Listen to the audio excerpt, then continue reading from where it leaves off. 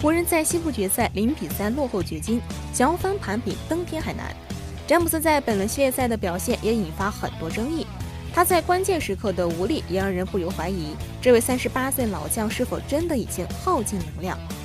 但说实话，湖人能走到今天已经出乎大部分人意料。今年老詹其实已经创造太多历史，除了常规赛历史得分王，詹姆斯目前的季后赛总得分已经达到了七千九百八十三分，马上就要成为历史上首位季后赛生涯得分突破八千大关的球员。这个记录到底有多难超越？我们不妨来看看 NBA 季后赛历史得分榜，排在第二名的乔丹为五千九百八十七分，贾巴尔为五千七百六十二分。也就是说，詹姆斯不但将成为八千分第一人，他也已经是六千分和七千分第一人，其他球员连跟他平起平坐的机会都没有。因此，詹姆斯的伟大毋庸置疑。哪怕他并不是年年都能夺冠，但数字不会说谎。